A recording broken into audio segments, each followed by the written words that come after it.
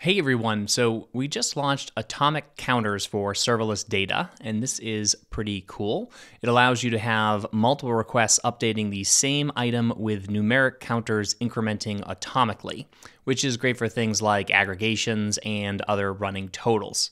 So let's go ahead and see how this works. We'll jump into our terminal in VS Code and we'll enter npm init cloud to initialize a new serverless cloud app in this directory. Now we can select Create New App, and we'll choose the JavaScript API template and name it Atomic Counters. So this will create a new app for us and generate our app files locally. Now it will connect to our personal developer sandbox, and we have a new serverless cloud app up and running. Now we can click on this URL and head over to our browser, and we'll see Hello Serverless Cloud. Now, if we open our index.js file, we can change this to hello serverless data.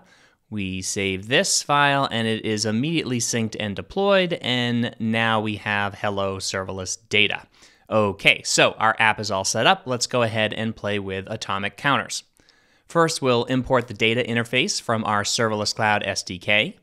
Then let's go into our default route and add const result equals await data.add, and we'll use a key named counter and set the increment value to 1. And then we want to return the results here so we can see what the value of our counter key is. I'll save this and then we'll jump over to our browser. And when I refresh this, we will see result 1. And every time I refresh, that number will keep incrementing. Now, this value doesn't have to just increment by 1. We can change it to 5 and save that. Now we can skip by 5 every time we reload this page. We can also use a negative number, so if we want to subtract 10 every time, we can save this and run it again, and we'll see that we are now subtracting 10 every time we call this endpoint. So that's pretty cool for simple values, but we can also set nested object values. So let's change this to my object. And if we want to increment a field within the object, we set it as the second parameter. Let's call it counter. And we want to increment it by two every time. We'll save this, and when we run this over here, we should see that we now have an object that stores the counter in there and increments by two when we run it again. Now, the cool thing here is because this is serverless data, we can combine other properties and values in the same object as these atomic counters. So if we add const result equals await data.set and pass in my object as the key, and then set an object as the value and say that name is serverless data like this, now, when we save this and we run it again, we see that name is set to serverless data and our counter is still there. Now, if we go back here, we can continue to update that counter atomically like this, and that'll keep incrementing without affecting our name field. So that is super handy, but what if we have multiple counters within an item and we want to update more than one value atomically?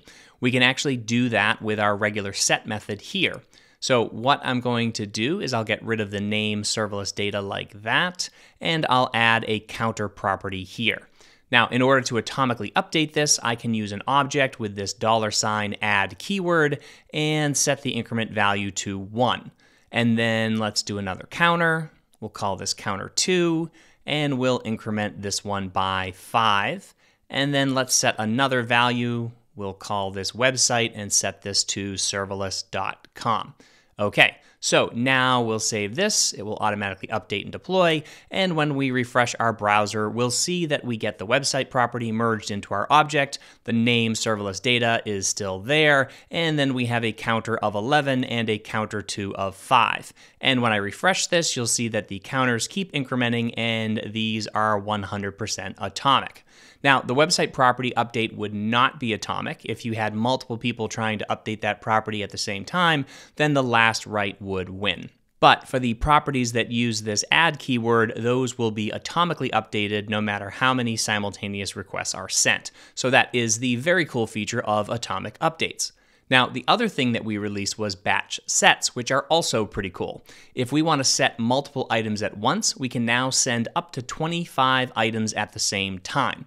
So the way that we do this is by sending in an array as the first parameter to set, and we just send in objects with a key property. We'll name this user colon one, and a value property which will pass a string of some user. Now this value can be arrays, numbers, objects, etc., just like with a normal set. And we can even add additional metadata like maybe a time to live, and we'll set that to 5,000. So let's add a couple more here. And we'll name this user 2 and this one user 3 and then set this value to user number 2 and we'll get rid of the TTL here and this one will be user number three, and we'll remove the TTL here as well.